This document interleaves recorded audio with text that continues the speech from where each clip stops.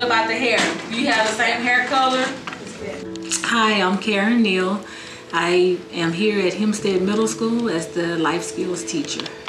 I've been teaching for about seven years, I believe, and I think this is like my eighth year, but total, I've been with Hempstead ISD for about 14, going on 15 years.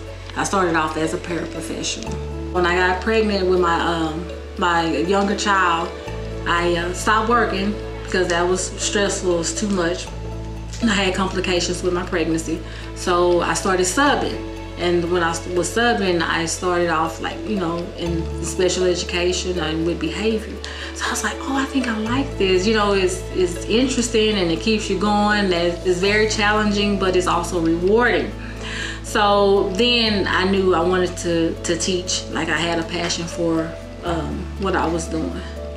My students have changed me. They have, um, it's, it's very humbling and you have to be caring and compassionate, kind, and it, it brings you down to that. Because, you know, if you're used to high energy and going, going, going, then it, it brings you down. So they have, uh, and patience. You have to have a lot of patience and, and time with this and really have a um, a passion for what you do. So they have really like brought me down from where I was uh, and to be, you know, more passionate and, and more patient. The skills that I would hope that they have learned from from being in here are the basic life skills.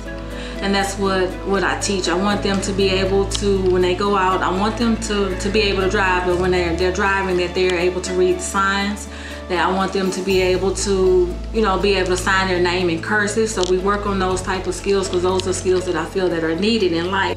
When I found out that I was teacher of the year, I was shocked when they called my name because I wasn't ex expecting it.